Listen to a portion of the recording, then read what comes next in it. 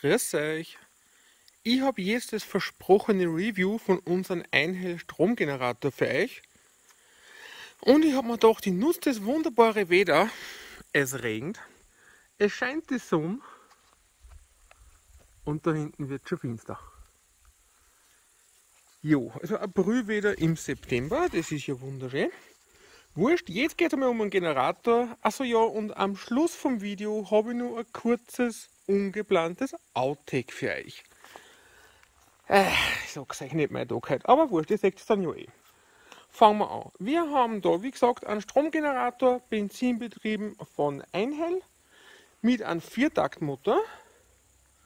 95 Dezibel Lautstärke, das ist gar nicht so wenig, es gibt aber auch noch deutlich lautere. Die Dauerleistung ist bei 1800 Watt. Wir haben da 2x230 Volt Anschluss. Ganz normal Steckdosen, wie man es eh kennt. Ups. Nichts Besonderes. Und da haben wir, Moment, zum Glück regnet ja nicht, unsere USB-Anschlüsse. 2x2,1 Ampere. Und da haben wir dann noch die Anzeigen fürs Öl, sprich wenn das Öl gar wird. Und natürlich Überlastanzeige und die Standardanzeige, wann er rennt. Jo.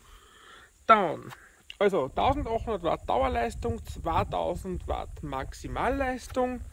Die bringt er auch, muss ich sagen, also das haben wir schon getestet.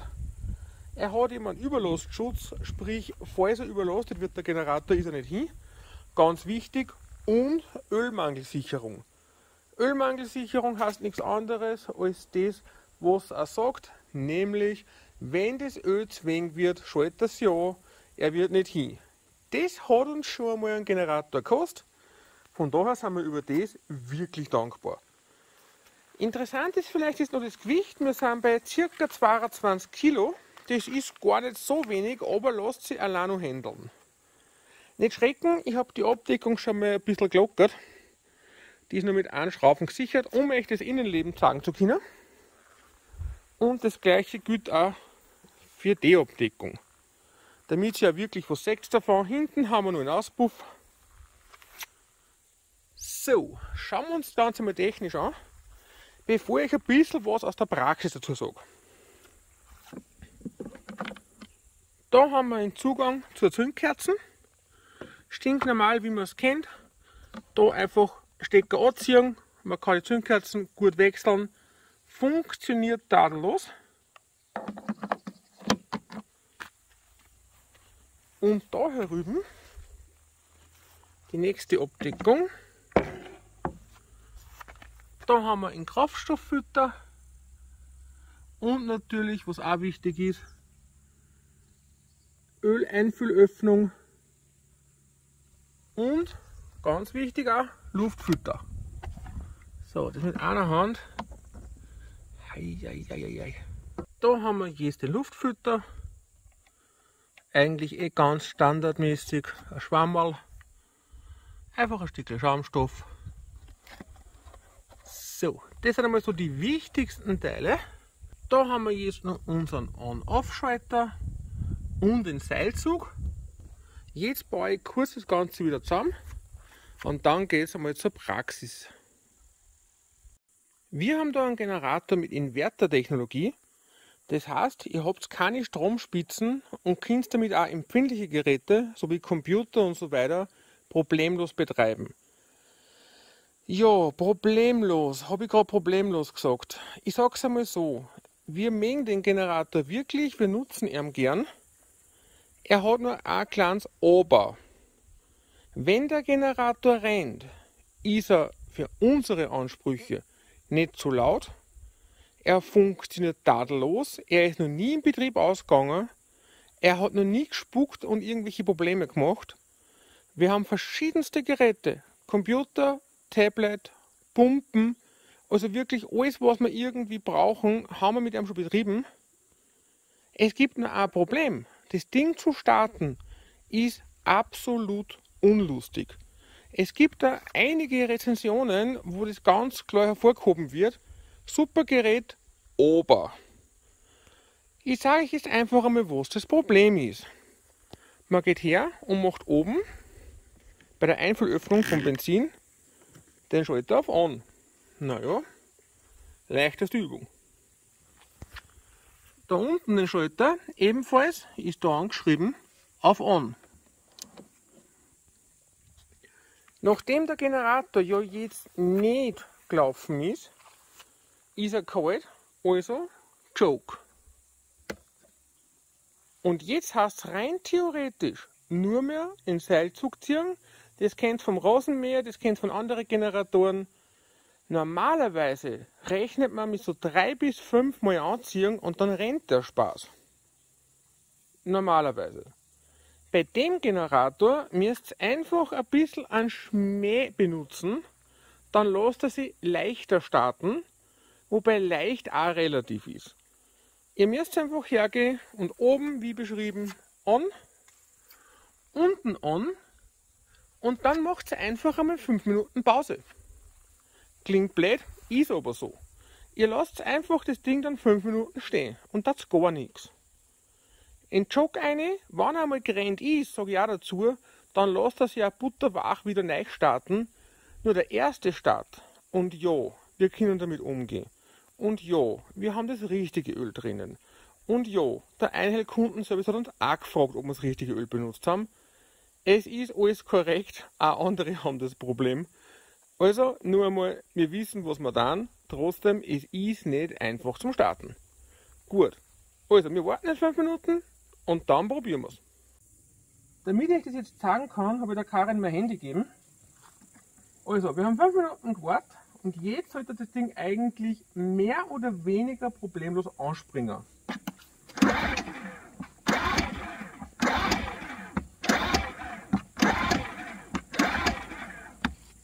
Wie ihr merkt, merkt ihr, dass es nicht geht. So, das ist das Übliche. Das ist bei dem leider immer wieder so. Es gibt jetzt ein paar Möglichkeiten, wie man das Ding trotzdem zum Starten bewegt. Entweder man zieht sehr schnell hintereinander Das ist auf Dauer weder für das Seil, nur für den Motor selber besonders gut. Variante B ist, man wechselt zwischendurch Kurs auf Run, startet wieder zwei, dreimal, wechselt wieder zurück auf Choke, wechselt wieder zwei, äh, äh, zieht wieder zwei, dreimal an, wechselt dann wieder hin und her. Nach 9 bis 12 Versuche im Normalfall Starter. Nur das kann meiner Meinung nach nicht der Sinn der Übung sein. Das ist im normalen Arbeitsalltag schon echt nervig. Bei einem Stromausfall und für die Krisenvorsorge ist eine Katastrophe. Was man auch machen kann, man macht so wie ich, zieht ein paar Mal an, man hört ja nicht einmal, dass es probiert zum Starten, da ist ja gar nichts quasi dahinter. Aber man geht einfach her und wartet dann wieder ein bisschen. Ein, zwei Minuten. Wenn man es dann wieder probiert, wir lassen ihn auf Joke, dann funktioniert das irgendwann, dass er einfach so anspringt. Warum? Haben wir bis jetzt noch nicht herausgefunden. Aber es funktioniert.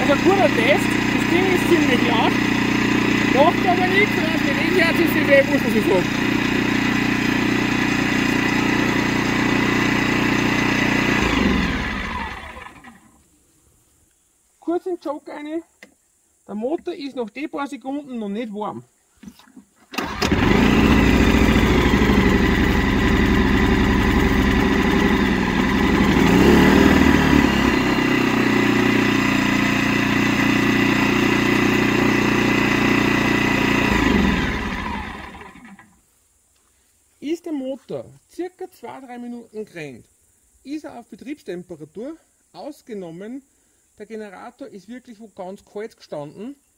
Dann kann man mit der Einstellung Run ein problemlos mit ein, zweimal anziehen wieder starten. Ein Riesenproblem ist, wenn man wirklich, ich sage es einmal, bei 10, 15 Grad minus irgendwo gelagert gehabt hat, im Auto, im Außenbereich, ihr werdet das Ding extrem schwer starten können. Wir haben bei minus 10 Grad, da ist er im Anhänger drinnen gestanden, im Verkaufsanhänger bei uns, zum Teil 15 Minuten gewerkt, bis er warm genug war, dass er richtig normal gestartet ist. Das heißt, immer wieder hin und her scheißen, immer wieder schauen, dass wir anziehen, kurz warten. Wir haben alles gemacht, was irgendwie möglich war. 15 Minuten und irgendwann springt er auf einmal an, wie wenn nichts gewesen war. War das jetzt der Einzelfall, würde ich sagen, Zug zu Einhell, danke für euch. Das Problem ist, der Generator hat es wirklich als Standardproblem und es gibt, das will ich auch nicht verschweigen, sehr häufig das Problem, dass er undicht ist und Benzin ausrinnt. Wir haben das noch nie gehabt. Ich kenne jemanden, der so ein Problem hat. Ich kenne auch keine anderen Generatoren, die das Problem haben, interessanterweise. Aber im Internet liest man das sehr häufig, dass plötzlich bei einem Schlauch der Benzin ausrinnt irgendwo im hinteren Bereich unten steht dann innen der Benzin. Das ist wortwörtlich brandgefährlich. Das darf überhaupt nicht passieren. Ob da eine Änderung gegeben hat, ob da vielleicht nachbessert haben bei Einhell, kann ich leider nicht sagen. Fakt ist, unserer, Karin, vielleicht kannst du das herzagen? Unser Generator ist 2021 hergestellt worden, im April, wenn ich es richtig lese und unserer hat es nicht. Also eventuell hat es einmal eine Serie gegeben, eventuell war da irgendein Problem. Ich kann euch sagen, wir haben wirklich bis auf das schwierige Starten mit dem Generator überhaupt kein Problem. Was ihr aber wissen müsst bei Generatoren ist generell, wenn ihr Invertertechnologie habt, dass der Generator mit Geräten, die sehr schnell sehr viel Strom ziehen, absolut nicht klarkommt. Das heißt, eine Bohrmaschine zum Beispiel, die sich gleich voll anrennen lässt. Ein Mikrowellenherd. Bei uns war es zum Beispiel der Hochdruckreiniger. Da schaltet er sofort auf Überlast, danke, vierte mag nicht mehr. Was ihr machen könnt bei Geräten, die das zulassen, wie bei der Bohrmaschine, fangt mit einer kleineren Drehzahl an. Geht es nicht gleich voll auf volle Leistung. Bei einem Hochdruckreiniger geht das leider nicht. Der Motor schaltet sein und fertig. Da haben wir auch keine Chance, da haben wir auch keine Lösung gefunden dafür. Aber bei anderen Geräten, wo man die Drehzahl oder die Leistung regulieren kann, können wir den Generator trotzdem problemlos benutzen. Die Frage ist jetzt noch, geben wir euch eine Kaufempfehlung? Jein. Ganz ehrlich, jein. Wir haben uns für den Generator entschieden, weil er klar ist, weil er sich gut handeln lässt, weil er sich gut transportieren lässt und er insgesamt für uns funktioniert. Wir brauchen zwei Steckdosen und wir brauchen zwei USB-Anschlüsse genau das hat er. Mehr wollen wir nicht, mehr brauchen wir nicht. Da ich mich wieder für das Gerät entscheiden, äh, eher nicht. Einfach nur wegen dem Starten. Das Starten ist nervig.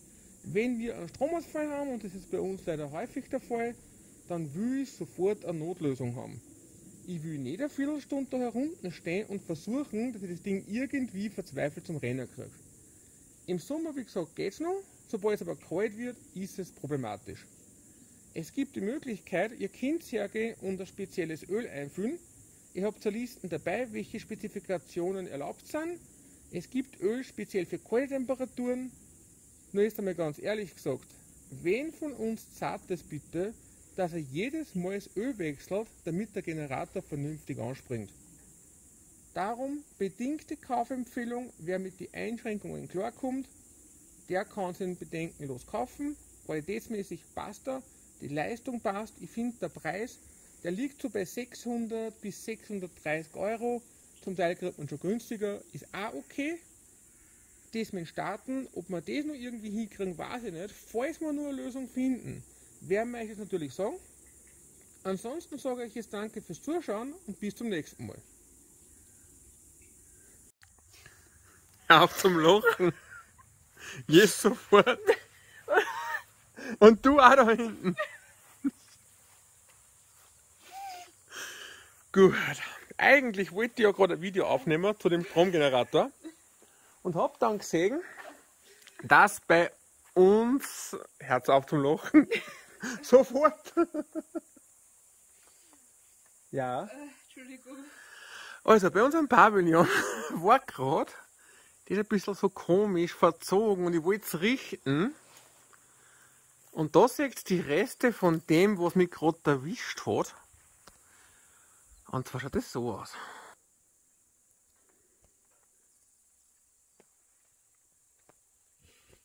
Packst du die Hand durch? Auf der Hand. Absolutes Mitleid, so schaut Mitleid aus.